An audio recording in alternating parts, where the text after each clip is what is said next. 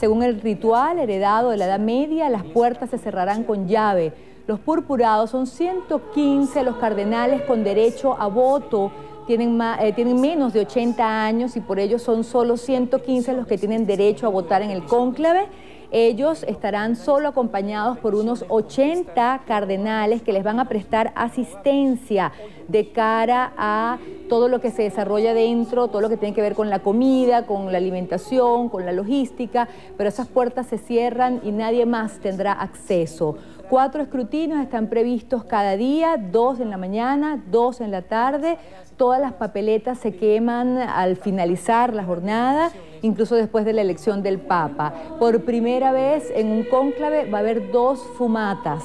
Va a haber una chimenea para quemar las papeletas y otra exclusivamente para producir el humo característico negro en caso de que la elección no tenga ninguna respuesta y blanco en caso de que sea electo el nuevo Papa.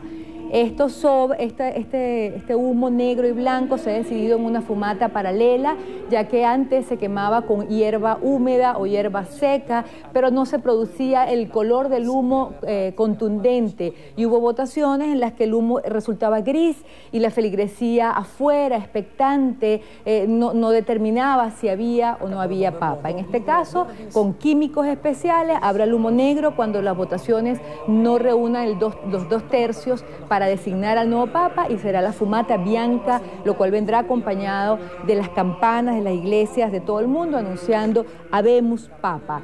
Entonces, momentos importantísimos para la Iglesia Católica Universal que estamos presenciando de cara a lo que todavía se puede transmitir antes del cierre oficial de las puertas de la Capilla Sixtina, donde estarán recluidos 115 cardenales, 115 príncipes de la Iglesia con derecho a voto en este conclave especial. Amigos, continúen con nuestra programación.